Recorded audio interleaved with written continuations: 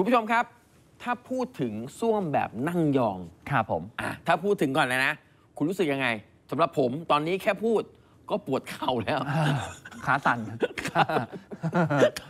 ขาสั่นครับแล้วผมดวงคนเราไม่รู้มันก็เป็นยังไงนะครับ เวลาแบบปวดท้องมากๆนะอืมเวลาไปแปลกถิ่นนะอื้อหือเนี่ยเห็นไหมตากล้องตากล้องหัวเราะกันหมดเลย สังเกตไหมมักจะไปเจอไอ้ส้วมแบบนี้จริงอืมไอ้ส้วมนั่งยองไม่มีอะหรอกๆ เวลาปวดหนักๆอะอ่าเออมักจะเป็นอย่างนี้จริงๆนะฮะใช่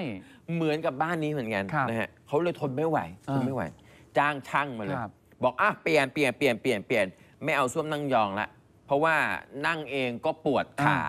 เออแล้วก็แบบเวลาแขกเขิกมาผมก็บ่นว่านั่งไม่สบายอ่าน นะ บอกช่างเลยเอางี้กันขอไปแบบชักโครก ครับผม อ่า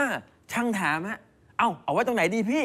อ้าวเจ้าของบ้านบอก ไว้ที่เดิมดิเออไว้ที่เดิม เอาท่อมันก็จะได้ลงที่เดิมไงพี่ เอ้ามันไม่ก็มาทำท่อวุ่นวาย เออ เออ ท่อมันตรงกันไปเลย เออเอถูกอแล้วนี่นะ เอาไว้ตรงนั่งยองนั่นแหละ ครับ เอาไว้ตรงนี้เลยนะฮะ เสร็จแล้ว เธอก็ให้ช่างมาทำนะครับ ซื้อชักโครกมาให้ ผลที่ออกมาเป็นยังไง เชิญรับชมได้เลยครับ นี่ฮะ ค่อยๆแพนมา เป็นไง ที่เดิมไหมมันแปะทับลงไปเลยนี่พี่ ที่เดิมอย่างที่ผมบอกไหมล่ะ ก็แค่เอาถามว่าช่างไปผิดแปะไหมแล้วก็ก่อนเอาปูนเททับนี่ ช่างทำไม่ผิดน่ะ ที่เดิมน่ะ เออ ไม่เน้นทำเน้นตำนานจริงเออ อาจจะหลุดคำว่ารื้อของเก่าออกด้วยเออน่าจะหลุดคำนี้ไปเออนะฮะถ้ามีคำว่ารื้อของเก่าออกด้วยเนี่ย เออเขาก็คงเอาออกไปแล้วไงนี่ดูสิๆไม่แล้วคือไม่ทำไมไม่งั้นก็ปาดปูนเก็บ แนวเดิมให้ไม่ให้มันไม่ไม่เห็นได้คุณไม่ได้เต๋หรอคุณเต๋อทำงี้ไม่ได้งานเกิอนุรักษ์ใช่ไหมเกินคำสั่ง อ๋อเกินคำสั่ง คุณไม่ได้บอกว่ารื้อของเดิมออกนะ โอเค ไม่ได้นะ โอเคเกิดคุณอยากจะเก็บไว้อะอ๋ออ๋อ เอ้ยไม่ได้ไม่ได้ ไม่ได้นะ แล้วเอาจริงถ้ามองเผินๆคุณผู้ชมมองเนี่ยตั้งใจมองเผินๆนะเลยนะ งานศิลปะนะ อ่ามันคืองานศิลปะ เป็นแล้วมันจะมีอยู่ชิ้นเดียว เป็นจุดที่อดีตและ ปัจจุบันเนี่ย มาบรรจบกัน นี่ไงมันจะมีอยู่ชิ้นเดียว ครับ ไปบ้านใครคุณก็ไม่เจอแบบนี้ อ่าถูกเปล่า ครับ แล้วก็ไม่อยากเจอ เฮ้ยเฮ้ย มันสวยดี มันสวยดีนะ เออเออ นี่แหละ นี่แหละนะฮะ ครับ โอ้โห ชาวเน็ตไปแซวกันใหญ่เลยอ่านะฮะ ไม่เน้นใช้งาน เน้นเป็นตำนาน เออจริงจริง สั่นสะเทือนวงการช่าง เออ ช่างคงบอกว่าอยากให้เก็บไว้เป็นที่ระลึกๆเออ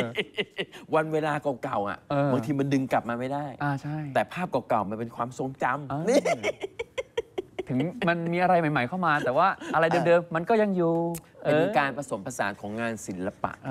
อ นี่นี่เป็นไง สุดยอดนะ หวังเป็นอย่างยิ่งครับ นะฮะว่าปูนที่อัดลงไปในไอตัว ไอ้ไอที่นั่งยองเนี่ย อืม จะอัดไว้ได้ดี มันคืจะอไม่แตกร้าว คือผมขออย่างเดียวอะไร ว่าถ้าใช้งานแล้วอะครับ มันใช้งานได้จริง มันใช้ได้จริงนะ ไม่ใช่ เพราะว่ารู้สึกว่าเมื่อกี้เนี่ยเออน่าจะเป็นคือเป็นฝารองนั่งแบเอบอชักโครกจริงเออแต่ว่าไม่น่าจะเป็นระบบชักโครกน่าจะเป็นเออตักน้ำลงราดเออใช่ไหมพี่เออไม่ใช่ตักน้ำเสร็จแล้วราดแล้วน้ำมันไหลย้อนกลับขึ้นเออมาตรงปูนอย่างเงี้ยไม่เอา ผมแอบห่วงไปอีกนิดนึงนะ ไอจังหวะที่ตัวชักโครกมันไปเข้ากับรอยต่อไอ้ตรงอ่านั่งยองนะ อ่าอ่า หวังว่าปูนคงไม่หลวมนะ อืมแล้วล้นขึ้นมานะอืมมันจะ ไม่เอานี่มันจะสะสมนะ นี่ไงตำนานไงเออ ไงอย่างงั้นเงี้ยเขาเรียกงานตำนานไง อะเอามาให้ดูกัน ครับเป็นผมเป็นรอยยิ้มแล้วกัน ในนี่ ช่วงบ่ายๆแบบนี้ ฮะครับนะฮะ